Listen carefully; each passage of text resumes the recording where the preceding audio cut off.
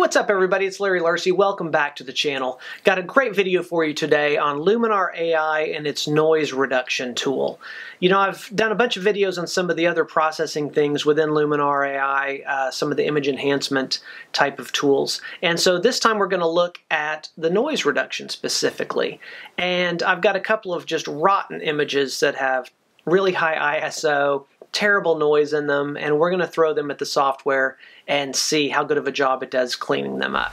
If you don't already have Luminar AI, there is a link below where you can uh, get a hold of it on their website and give it a try yourself. So we'll see how it does with these two images. I will walk you through the process and show you basically how the tool works and we will see how much noise we can take out without losing sharpness. Should be interesting. think you'll enjoy it. So without any further ado, let's roll the intro.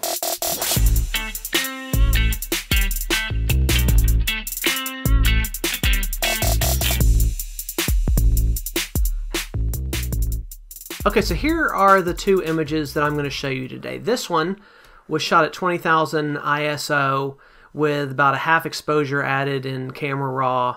So uh, it's definitely got some noise back in there. And then I've got another image back here that's way worse than this one when you get in close to it. So this will kind of give us a more reasonable noise reduction if we come in here and go up to 100%. Uh, you can see we got plenty of noise back through here, a lot of noise here in the face. And um, so this is a pretty rough situation and we'll see what it can do to clean up some of this noise. And then, like I said, we'll jump into that other one, which is a little more uh, brutal. But let's start here first with this 20,000 ISO image and just drop into the software. All right, so here we are in Luminar. We want to go up to Edit and we're going to come over here to denoise. Now we could do some other things first probably to um, fix up the image a little more before we tried to apply the denoise, but I want to be able to see in the before and after only the denoise effect, so I'm only going to work with the denoise. So when we open up the panel, let's take a look at this panel real quick and open up advanced settings. You've got your luminosity, denoise, the color, and then under advanced settings you've got this boost. And you'll notice right now these are at zero. The boost, I can't even access it. It's at 25. What the boost does is controls how strong this denoise is uh, in its action. So uh, if we're at 25% here and we take this all the way across to 100, we're really only doing 25% because it's doing 25% power and we're all the way up at 100 of that 25% power. So to get the full everything, you'd have to go all the way across to 100. Now what I like to do is start somewhere about 75 here. Bring this down just a little bit. Um, I like to put about 75, so I'm seeing almost full power on this denoise, but I've still got a little more I can add. I like to leave more on the negative side because it's much more likely for me to uh, overdo it with some of these filters and need to pull it back later. And so this way, if I do too much denoise, I can bring back the boost until it looks okay. It's rare that I don't do enough.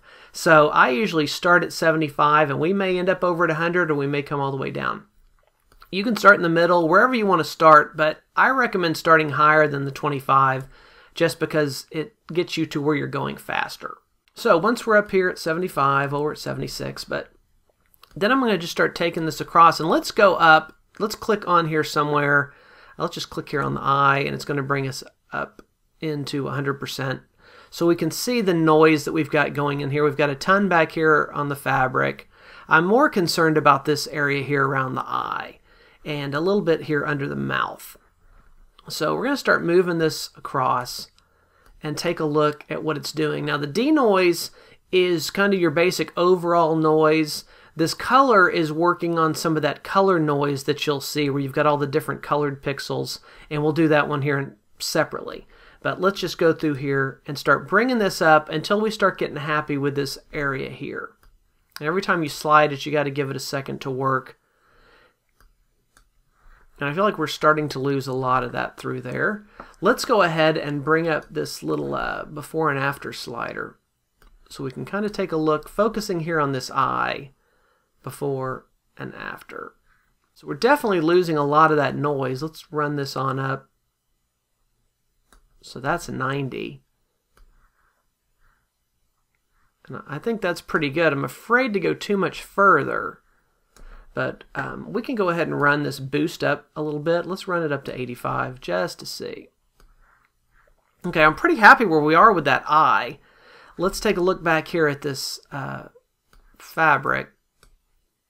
And it's still got a good amount of noise there. Let's run it up to 95. That's definitely softened some. Um, let's hit the denoise on the color side and start taking away some of this. See if we notice any sort of a change. I'm not seeing a ton of color noise in this image, so this one's not doing too much. You can see we are pretty boosted up here. Um, we'll go on up to 90. So right now I'm at 95, 85, 90. So this is a pretty strong denoise that we've put on this one, but it was a pretty bad image to start. I mean, that's if you're starting out with an image with this much noise, you're probably in trouble already. But I think um, certainly in this area of the eyes, I, I think that looks much better. We've certainly got rid of a lot of that noise through there. And what I like is if I like watch this little highlight, for example, I feel like we haven't lost too much sharpness from that highlight. And even if you notice some of the fine hairs through here um, that are here before, you don't really even lose any of those hairs. Even that little tiny one, if you can see that on your screen, is still there. So we're keeping some pretty nice detail, but uh, again, looking up here, we're definitely softening that background some. Now, if we look here under the mouth, it's still leaving an awful lot of that noise. I think it's a, a touch softer. You can also kind of see it here in the little mustache, that uh, much more grainy there and a little bit less right there. So, uh, you know, it's not making it look perfect. Uh, it's not certainly going to take a super grainy image and make it look like it was exposed perfectly with, with no ISO. But I think that does make it look a lot nicer than where it was without costing us too much in the way of um, softening the overall image. So let's go ahead and apply that and jump into this other one. Now this image was actually done with a 5D Mark II. So it's about a 12 year old camera. And so it was only shot at 6400, but it's much older technology. It was still boosted a, a half stop in uh, camera raw. And you can see here it's got a ridiculous amount of noise um, through here. So this is going to be a really tough challenge for the software. And we'll see what it can do. Okay, so we'll go into edit come here under denoise and let's go ahead and jump in so we can see this noise in all its glory. So we know right off the bat we're gonna let's turn that on so we can get to the boost. I'm gonna bring the boost up to probably 90 just for starters. In fact, what I may do on this image because it's so bad, um, I'd be curious just to see. Let's get up here where we can see some of this and some of this. I'd be curious to see what happens if we just blast it all the way to the right on all the sliders, just max power, and look at the before and after. Let's look at this area here where we've got this multicolored glitter going. It's definitely knocked that back. Same with this section here. You've got a lot of this blue and red and I can still see it there, but when you look at this side by side, it's definitely much better. Now again, if you're coming in with an image that's this terribly noisy, you're in trouble. You know, when I look down here at all this noise, I feel like it's just kind of smoothing things out here. There's still a lot of junk. Um, it definitely looks smoother, but I don't know that that's necessarily better. Uh, if we look at the before and after, I mean, it's gotten rid of the the grainy noise and just kind of replaced it with a smooth noise. So I'm not happy with what's happened down there. But looking here at the eye, I feel like it's much better. And this is maxed out. So now you could certainly probably save this, come in and run it again, but you're going to start getting in trouble with the image getting too soft. And so it looks to me that that's about the max you're going to be able to fix with Luminar AI on an image like this as far as just using this denoise. And like I said, it's certainly improving it, but I think it's going to be a lot more handy for images when you just need to clean up a little noise versus something that's like this where it's just a noise disaster. So there you can see the jury is a little bit out for me on the AI's noise reduction tool.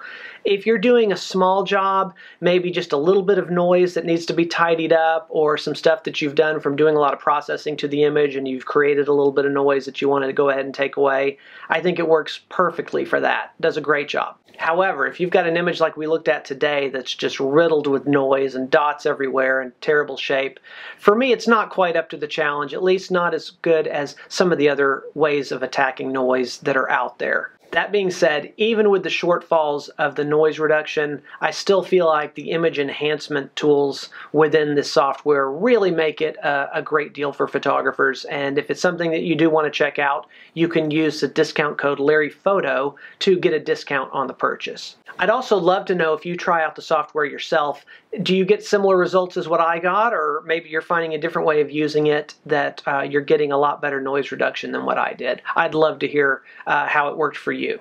But that's all I got for this video. I hope to see you again soon. Take care. Bye-bye.